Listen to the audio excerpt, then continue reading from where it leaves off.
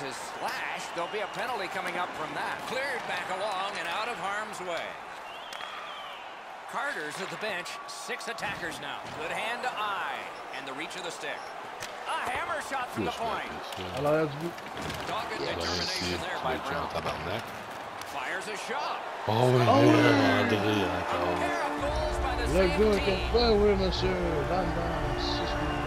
Ouais, après un de beau coup de bâton en arrière du net, mon gars, ça rebondit. C'est allé à toi, de toi au compute, That puck looked like it got deflected right in front of the goaltender. I'm sure Ray had a much better look at that. It did get deflected, Eddie, and when we get a look at it on the Qu'est-ce replay que tu right here, plus? you're going to see the goalie's in position, but Qu'est-ce que because tu the puck is deflected the way it gets past him in a way he just